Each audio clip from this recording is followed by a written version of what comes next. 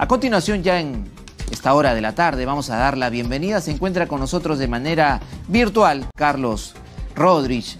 Él es un funcionario coordinador del proyecto Piura Innovadora, cofinanciado por ProInnovate del Produce. Muy buenas tardes.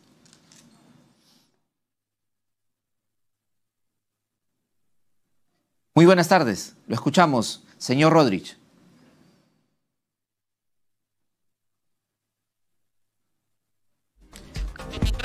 Bien, precisamente vamos a conversar con el señor Carlos Rodríguez, quien nos va a dar cuenta de los adelantos que se han obtenido en innovación en la región Piura a través de Pro Innovate del Ministerio de la Producción. Muy buenas tardes.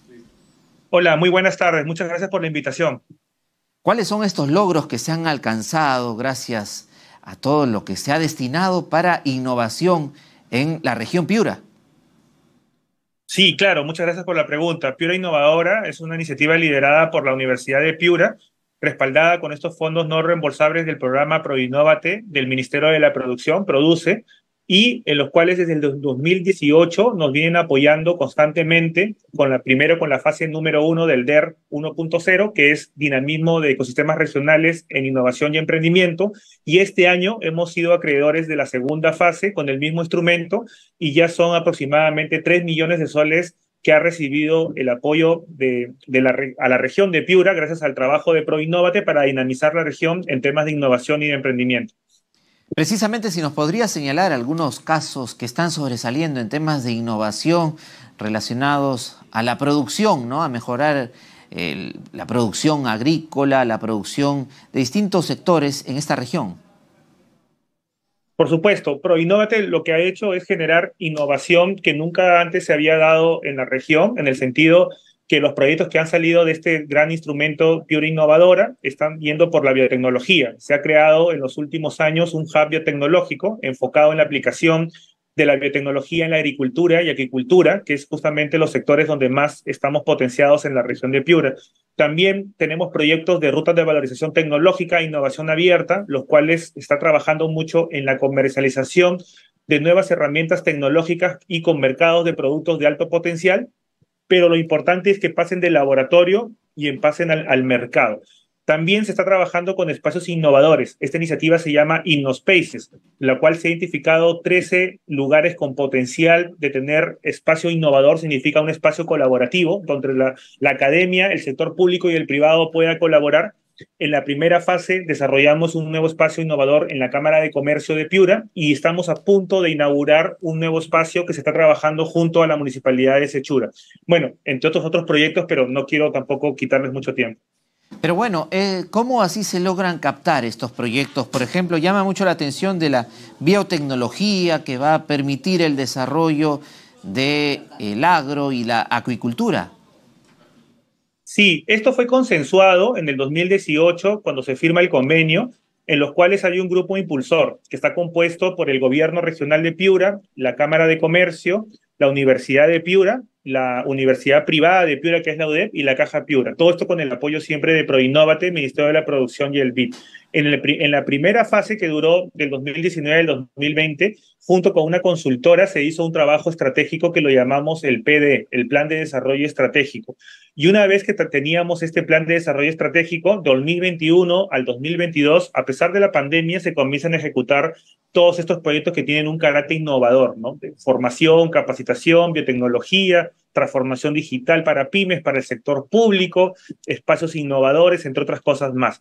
Y es este año que tuvimos la suerte, bueno, no solamente Piura, sino son, hasta ahorita ya son siete DER, siete regiones que tienen este instrumento, en las cuales dentro de abril de 2023 a, a finales de este mes, estamos cerrando el proyecto DER 2.0, el cual sigue la misma senda de los primeros proyectos, pero hemos incluido uno nuevo por la importancia que se está dando no solamente en Piura, sino a nivel nacional, que es la primera agenda regional de economía circular, pues estamos sufriendo con estos temas de cambio climático, temas de desabastecimiento, temas, por ejemplo, de economía circular. Entonces, es una apuesta muy importante también de Proinnovate para apoyar los temas verdes que son tan relevantes no solamente en el Perú, sino a nivel global.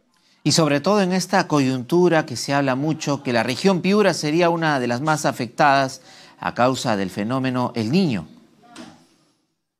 Es correcto, justamente pensando en esto, trabajando colaborativamente con ProInnovate, a inicios de este año decidimos que era muy importante tener una hoja de ruta, porque no solamente viene por los temas de reciclaje o energías limpias, viene efectivamente, como bien lo has mencionado, el tema del fenómeno del niño lo hemos tenido hace unos meses, esto nos provocó temas con problemas de alimentos, temas, por ejemplo, enfermedades endémicas como el dengue, y están, esperemos que no, pero se dice que va a haber un nuevo fenómeno del niño, y es por eso que la región tiene que comprometer no solamente la innovación y los nuevos emprendimientos tecnológicos en estos temas, sino que buscamos rápidamente tener soluciones y aquí creo que el papel del, Ministerio de la Producción con, con ProInnovate ha sido fundamental. Se ha ampliado entonces el presente año un nuevo proyecto más para dentro de la cartera que ustedes ya venían ejecutando. Y ahora, ¿cuáles son las miras para el 2024 que aparentemente los primeros meses serán muy difíciles en toda la zona norte del país. Bueno, justo esta semana hemos tenido la semana de innovación. Hoy día estamos terminando la semana de innovación. Más de 83 expositores, más de 10, expositores de, de 10 países han venido y en la cual justamente los primeros dos días tuvimos los talleres de resultados del DER 2.0. ¿no? Nos acompañaron autoridades del Banco Interamericano de Desarrollo, también vinieron de Prodinnovate, entre muchos actores de la región para compartir los resultados. Y lo que ha determinado, y eso ha sido algo muy interesante, es que queremos seguir la senda del mismo DER 2.0. Si ya son ocho años de constante crecimiento en temas de innovación y emprendimiento en la región, ¿por qué no continuar con esto? Así que esperamos seguramente nuevas noticias a inicios del año y esperemos que también el fenómeno del niño no nos afecte tanto como fue al inicio del año. Y dentro de las innovaciones, ¿hay algún estudio relacionado exactamente a mitigar los efectos del niño quizás?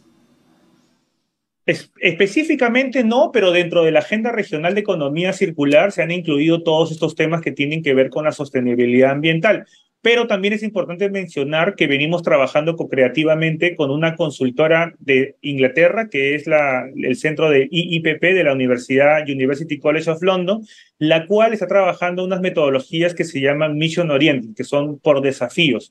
Y en esta co-creación que nos ha invitado a participar justamente el Produce con, con ProInnovate, lo que estamos haciendo es co-crear con otros sectores del Estado como Concitec, el ITP, diferentes instituciones gubernamentales para trabajar desafíos y ahí han incluido temas de resiliencia, temas de enfermedades endémicas, temas de, por ejemplo, afrontar el cambio climático y creo que van a salir nuevas políticas públicas de innovación interesantes para poder justamente ya no que nos agarren desprevenidos, ¿no? sino que para lo mejor tecnologías que puedan solventar o solucionar temas del dengue o, por ejemplo, temas que tienen que ver con el tema de las lluvias y las posibles inundaciones que tenemos siempre por acá, ¿no?